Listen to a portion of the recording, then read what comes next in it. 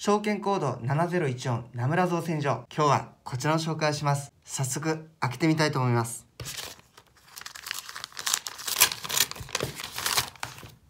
中にはもう何も入ってません。中にはこちらの3つの書類が入っていました。まずはこちら。いつも目にするものですね。マイナンバーのお届けに関するお知らせです。こちらはいつも通り割愛します。次はこちら。こちらは住所と氏名が書かれた封筒の頭紙になります。なのでこちらも割愛します。そして最後にこちら。名村と大きく書かれてますね。第122期中間報告書になります。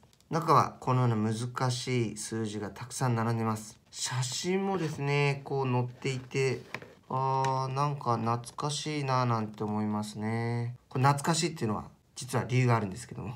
ということでですね以上なんですがちょっと不安になる封筒の中身でした。これ以外何も入っていないのでもしかしたらということなんですけどもまあ株主総会後もう一度通知は来るのかどうかちょっと不安ですが無敗の可能性もあるのかなと。ちょっと次の通知が来ればいいな、まあ、それを待ちたいと思っています。証券コード7014名村造船所は大阪市西区に登記場の本社を置き佐賀県伊万里市に製造拠点があります。中型から超大型の貨物船や単価を主力商品とするほかコンテナ船や自動車運搬船 LPG 船など様々な船の製造実績を持っています。また九州地方をはじめ西日本広域にて橋梁や各種鉄鋼物の設計製造仮設も行っています。権利確定日は3月と9月。気になる現在の株価はこちらです。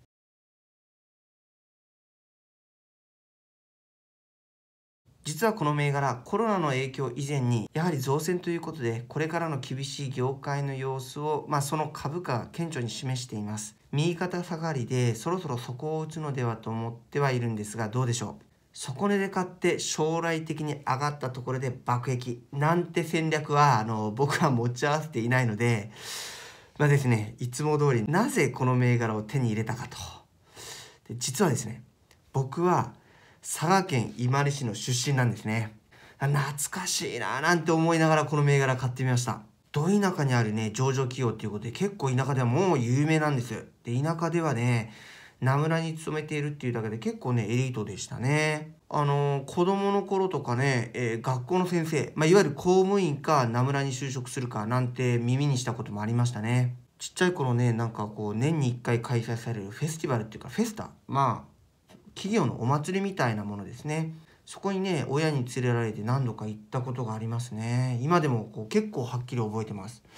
本当にね懐かしいですね。船もねでっかい船がたくさん並んでいて子供ってね男の子って特にねそういう鉄道とか船とか好きじゃないですか乗り物って。なんかかっこいいというかそのマシンっていうんですかね機械とか。子供たちがこう憧れというかかっこいいななんて言いながら見てましたね。あしかもですね僕この企業面接受けてるんです。けれど落ちました。僕はですね採用に至らず不合格という結果だったんですけどもあの原因はですねどうやらあまり企業受けしないというか、まあ、面接でですねまあよろしくないことを言ったのが原因のようです。しかし今ではですねこういう形で関わっていて、まあ、応援したいなって思っています。今度ね実家に帰った時は、まあ、ドライブがてら行ってみたいと思ってます以上カズでした See you!